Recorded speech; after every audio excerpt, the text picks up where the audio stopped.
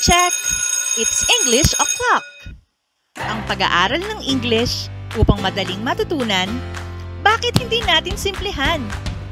Halika! Manood at makinig sa English Teacher ni Juan!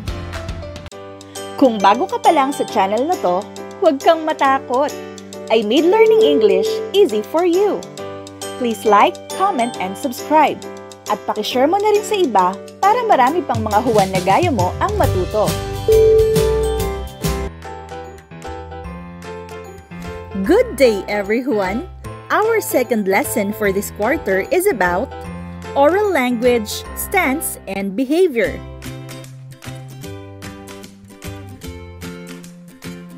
The target most essential learning competency for this video is using the appropriate oral language, stance, and behavior when giving information, instructions, making explanations, and narrating events in factual and personal accounts.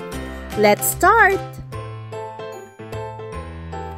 Communication is the act of giving, receiving, and sharing information.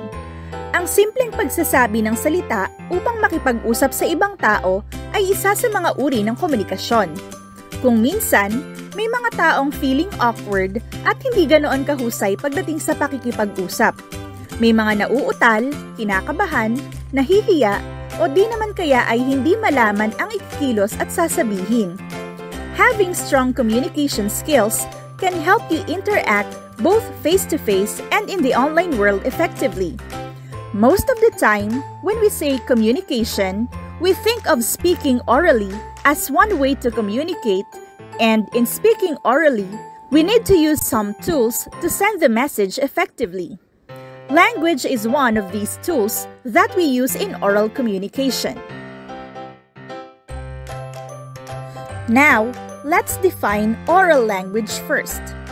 What is oral language?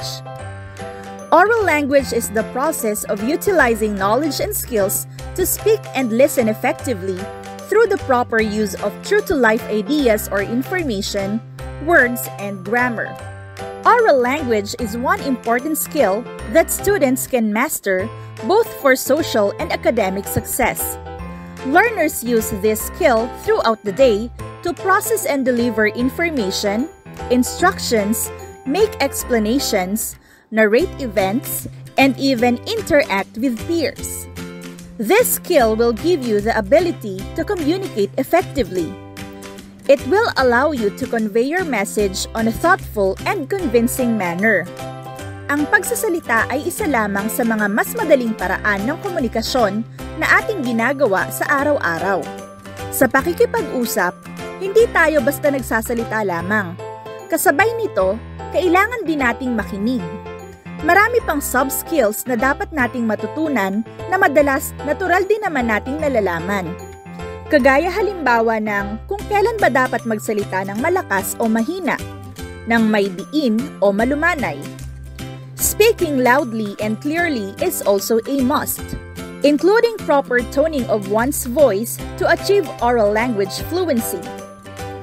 One may use a formal tone to meet and do campaigns, an informal tone when talking to friends or relatives, a joyful tone when giving birthday or wedding messages, and a sad tone during eulogies, calamities, and tragedies. Through oral language, we can also express what we want or feel. Our facial expressions and body movements can convey our thoughts or feelings. Thus, both the speaker and listener must possess qualities or characteristics to deliver and receive the message with clarity, accuracy, and conciseness.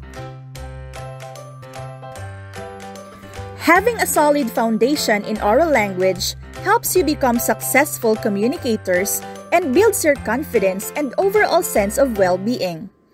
How can you do this? These are some tips that might help you to be good at it. First, think before you speak. Second, be clear and concise. Third, speak with confidence. Fourth, Vary your vocal tone. Fifth, maintain eye contact. 6. Think about your audience. Now, there are four types of communication that you need to know, and these are those. 1. Verbal communication utilizes the spoken word either face to face or remotely. It is essential to most interactions. 2. Nonverbal communication provides some insight into speaker's word choice. These things are often communicated through facial expressions, hand gestures, posture, and even appearance, all of which can convey something about the speaker. 3.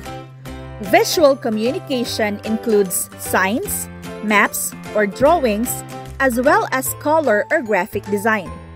Visual aids can help a speaker remember important topics, give the audience something to look at, and generally help convey it. 4. Written communication is writing, typing, or printing symbols like numbers to convey information. Now, let's talk about the term stance. What does it mean? The stance is the manner and position in which a person stands. What is a good stance? Keep a good posture when speaking. Stand straight with shoulders back, relaxed, and feet shoulder width apart.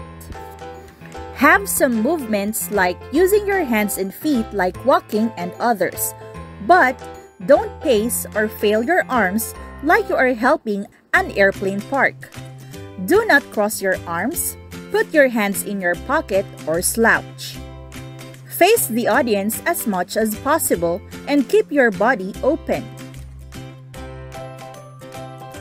Appropriate behavior refers to how you act and deliver a text through different facial expressions such as happy, sad, angry, surprised, and afraid. And body language like maintaining eye contact, showing good posture and smile, using hand gestures, tilting your head to one side. Characteristics of good speakers They have eye contact with the audience. They pause before and after important ideas. They have a good posture. They are confident, relaxed, and energetic. They have a conversational tone. They have speech organization. They have a main idea like good points. So again class, hindi lang basta pagsasalita ang dapat matutunan. Dapat ding isaisip kung paano magsasalita nang naiintindihan at naipararating ng malinaw ang gustong iparating na mensahe sa taong kinakausap. Minsan, it's not just about the words you speak or the words that come out of your mouth. It's how you say the words that matters.